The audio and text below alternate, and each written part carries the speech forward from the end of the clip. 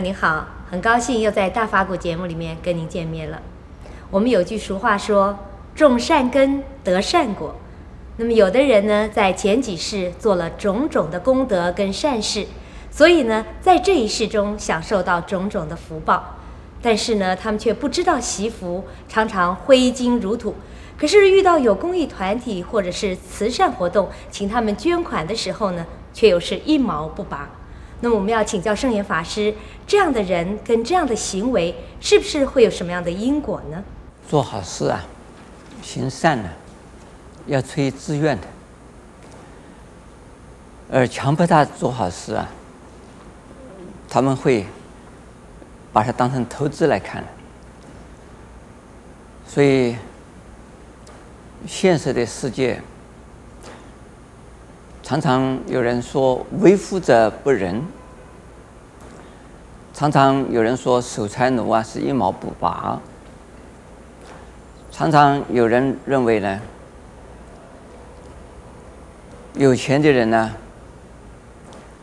是啊非常自私的。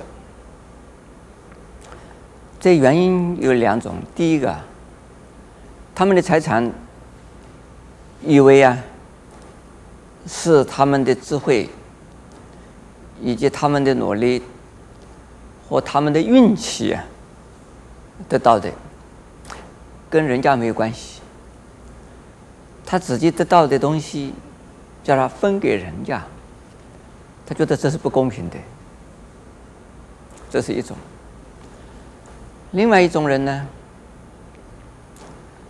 认为他自己。赚的钱呢，也在布施啊。比如说到酒家、到饭馆、到娱乐场所，挥金如土，他也在叫布施啊。他的给的钱，只是给的对象啊，不是给的穷人，而是他也是广积善缘呐。还有呢，他们认为。他们的公司里的，以及呢，跟公司相跟他们公司相关事业相关的许多的人，能够得到生活的薪水的待遇啊，是由于他们的关系，所以呢，他们也觉得已经做了好事啊，已经做了布施啊，已经行了善了。曾经我看到。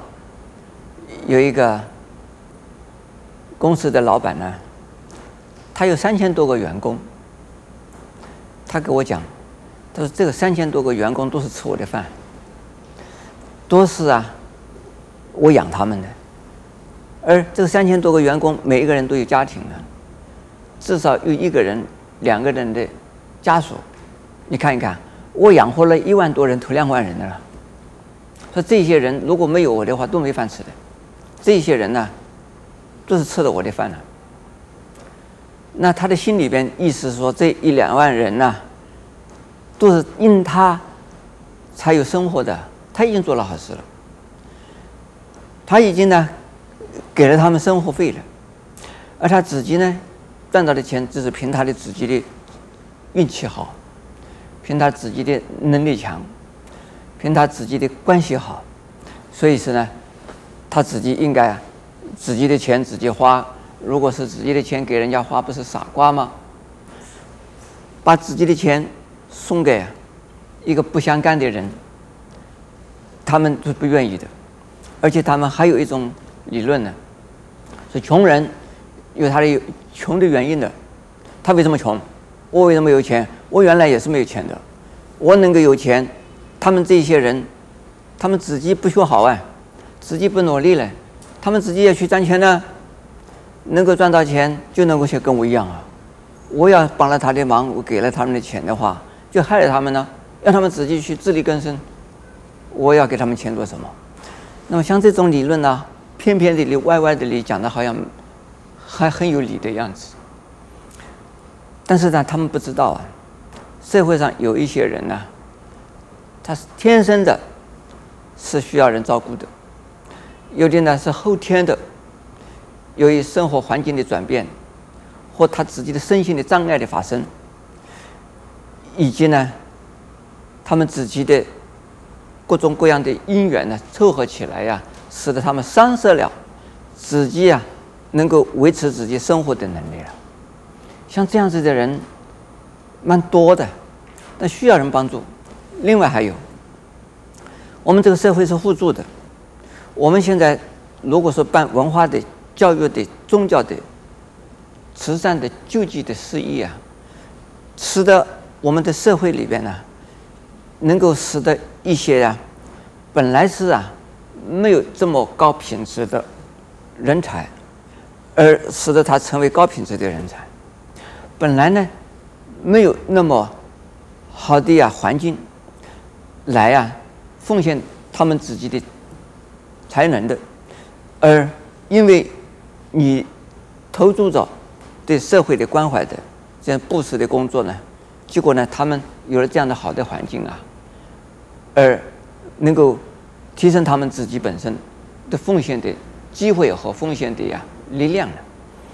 所以像这样子的情形呢，我们的社会越来越好。还有呢，我们投资的。